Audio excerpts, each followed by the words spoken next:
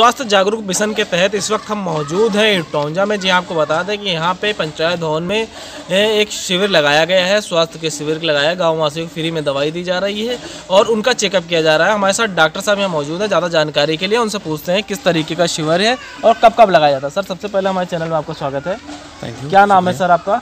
Doctor Mohammad Tayyab. Doctor साहब क्या कहना चाहेंगे शिविर कब कब लगाया जाता है इसके बारे में थोड़ी जानकारी दीजिए। ये गवर्नमेंट ऑफ़ इंडिया का एक प्लान है आयुष मिशन के तहत जिसमें चार विधाएँ आती हैं यूनानी आयुर्वेदा होम्योपैथी और सिद्धा। तो इन चारों देसी पैथियों को बढ़ावा देने के लिए सरकार का ये सरकार ने प्रोग्राम चलाया है और महोना का जो यूनानी अस्पताल है उसको आयुष ग्राम बनाया गया है। तो इसमें चार दिन हफ़्ते महीने में चार कैंप अलग अलग गाँव में लगाए जाते हैं संकुल ग्राम बनाए गए हैं कि इस महोना के अंदर महोना के अंदर आने वाले चार ग्राम ऐसे हैं अलग अलग जहाँ पे हर हफ़्ते एक शिविर लगाया जाता है। अच्छा इसमें किस तरीके की दवाई दी जाती है जैसे?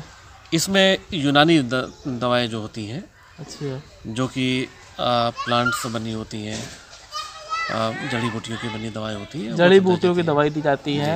और इसके अलावा और किसी जांचें वगैरह जैसे वो भी होती है क्या नहीं जांचें की सुविधाएँ यहाँ नहीं है अच्छा खाली हम लोग मरीज़ का परीक्षण परीक्षण करते हैं हम्म। और फिर दवाई देते हैं और इसमें जैसे कौन कौन सी बीमारियों की दवाई दी जाती है आपके इसमें जितनी भी पुरानी पुरानी बीमारियाँ हैं अच्छा। जैसे गठिया है और नज़ला ज़ुकाम पेट से पेट से संबंधित बीमारियाँ हम्म। लीवर की बीमारियाँ और जितनी भी पुरानी जटिल बीमारियाँ हैं हम्म। उनका सबका इलाज अच्छा इससे क्या लोगों को फ़ायदा भी पहुँच रहा है यूनानी दवाई खाने नहीं इससे काफ़ी फ़ायदा पहुँच रहा है। आप अस्पताल में हमारा आइए वहाँ पे बिल्कुल भीड़ लगी रहती है। काफ़ी दूर दूर के कम से कम बीस पच्चीस किलोमीटर इलाके से लोग हमारे यहाँ मरीज़ आते हैं और खुद आते हैं खुद अपने साथ में लेके आते हैं।